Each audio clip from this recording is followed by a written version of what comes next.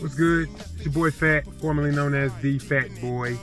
Had to do a little name change if you haven't already been alerted. Lately, my number one question that I'm always asked is, yo bro, you still doing music? The answer is a resounding and frequent yes, yes, yes, yes. In fact, I have a whole new project that I'm working on.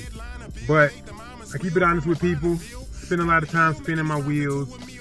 I'm past the starting line, and I feel like I should really give people a little something better, a little something more. I expect more from myself. My fans and supporters expect more from me. Taking the opportunity, I took a step back. Still working on solid music, but the music, you know, it's been good for a long time.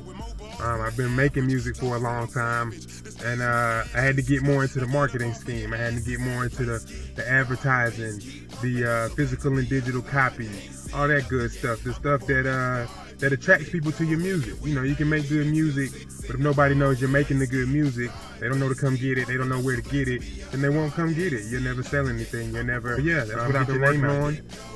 There'll be more details as they come. There's paperwork, there's planning, there's, there's levels to this, like everybody likes to say. So, Fat will return, and you're gonna love it. But, good to see y'all again, and I still love you.